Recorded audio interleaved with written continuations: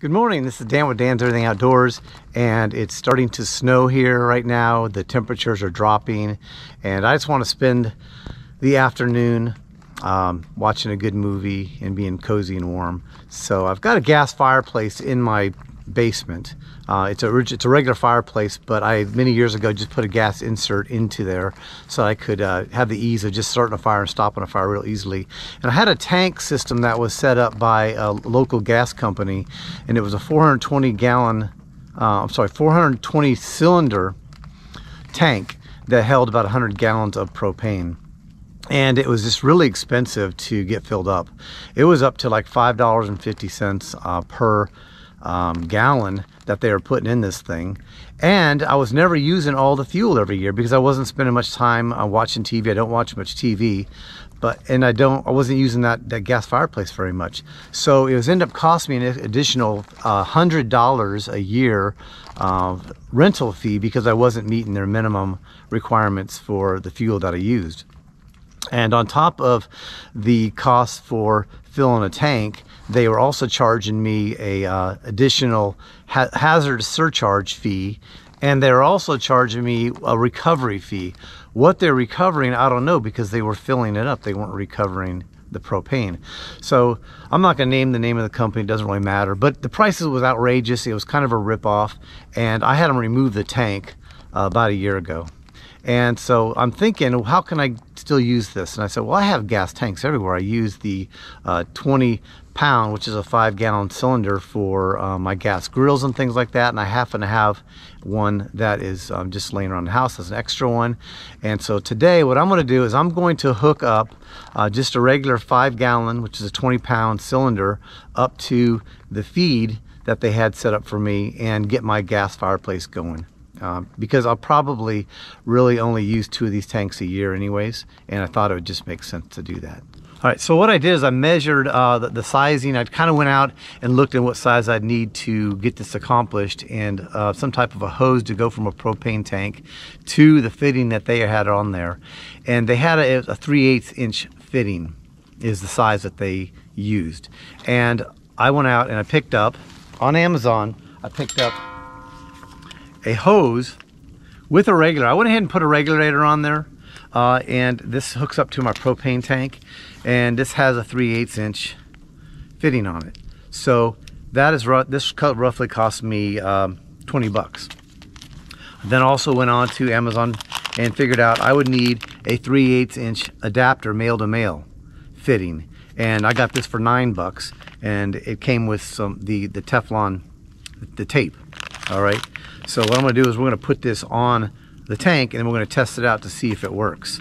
I didn't know if I need the regulator or not because I don't believe that the tank that was here, the 420 uh, pound cylinder, which is a 100 gallon tank, had a, a, regulator on it. May have, may not have. But I went ahead and got a hose that had this uh, regulator on there. So we're gonna hook it up to this, uh, to the cylinder right here. The first thing I'm gonna do is just uh, put it on this end here grab one of these fittings here. Let's go ahead and put this some of this fitting tape. I don't know how much of this I need to put on. I'm just going to wrap it around a couple times on this end. Screw that in here. Tighten that up. This I believe is a this is a three three quarter inch and the fitting uh, the actual size of 5 eighths so just tighten that up real quick. That was easy enough. Then this is just a, I don't think it would leak without this, but I'm just making sure it doesn't leak. And I'll come back later and um, measure it with a leak detector, make sure that there's no leakage going on. I mean, this is done all the all the time for for gas grills, so it's fairly safe. All right, so let's go put this in place.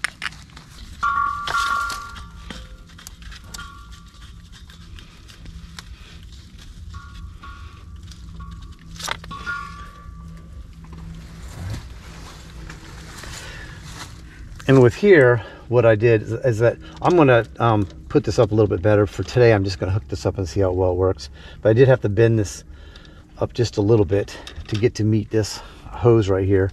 And then I'll secure this to the house here in a little bit. And then this, I'm going to screw that on there and tighten it down. This one was a little bit bigger size. This was a, um, this is a 7 8 the male to male fitting is a 5 eighths. Let's get this tightened up.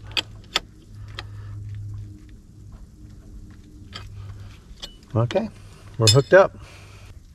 Last thing, let's go ahead and open up this tank and we're going to go in the house and start the gas fireplace. All right, so when I did this, the flame wasn't, when I was running the pilot light, I purged out the air and the pilot light wasn't as strong as it was with the other tank. So it wasn't touching this sensor here. So I moved the sensor just a little bit so it'd be within the flame so that when I, once the pilot light is lit, it stays lit and doesn't go out. And that's just a, a safety feature that they have that if your pilot light were to go out and this sensor isn't sensing any heat, it cuts off your propane so that you don't get a bunch of propane in your house. Okay, so now that I adjusted that, let's go and start it up. Oh, here we go. I gotta hold this in a little bit. It's gotta wait for that heat sensor to heat up and then it's gonna run. So I don't know if the flame's just a little bit weaker because of the regulator or if the line, uh, since they removed the tank, has some type, a little bit of restriction in it. but the pilot light's running on its own now. All right, see how it works. Oh, lit lighting.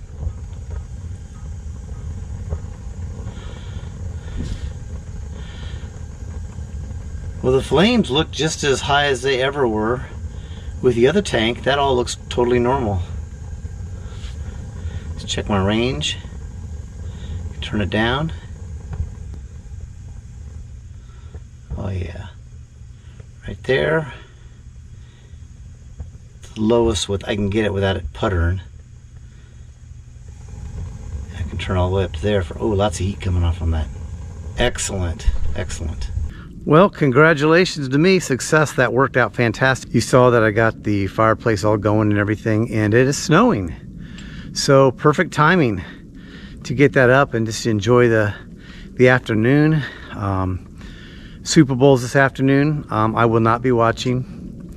I'll find something else fun to do with my family and we'll go out and just enjoy the afternoon. So, as a matter of fact, I think I have a tank that somebody gave me a couple years ago. I think it's a 50 gallon tank. I'm gonna go look for that right now because I may go ahead and get that filled up and get the fitting set up so I can have a little bit larger tank. And I don't have to pay a refill. I don't have to, uh, um, I can get cheaper costs. And by the way, when we looked at the cost of that, it was, I was costing possibly $5.50 per gallon with this gas company. I can go down to a local place here that refills the tanks. I think they're at a, I think they they run a refill tank. It's right near a, a trailer park, and they fill it for like three dollars a gallon. That's a huge amount of savings.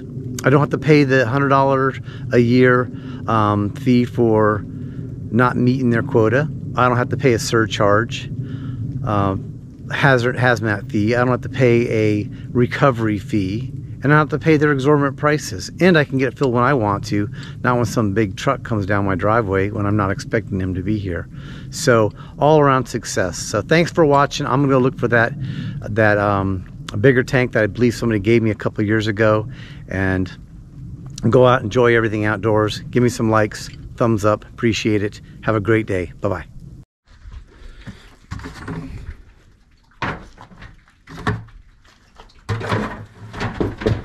I'm looking to see if that tank underneath this boat cover possible. Oh, there we go. Look at that. Look at that. Hidden inside these tires. I think that's a 50 gallon tank. Oh, I think I'll get that tank tested and get it filled and be able to use that in place of my smaller tank.